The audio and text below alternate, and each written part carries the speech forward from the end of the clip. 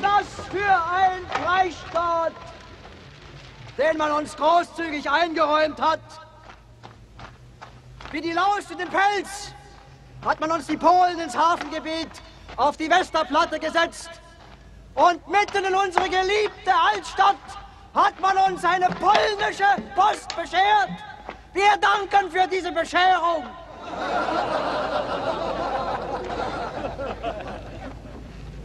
Wir Deutschen hatten schon eine Post, als sich der Pole noch nichts in Briefen zu sagen hatte. Dem haben wir doch das Schreiben beigebracht. Doch nun, liebe Parteigenossen und Parteigenossinnen, wollen wir unseren Gast aus dem Reich, den uns der Führer geschickt hat, begrüßen. Soeben betritt der Parteigenosse Albert Forster das Kundgebungsgelände Sieg!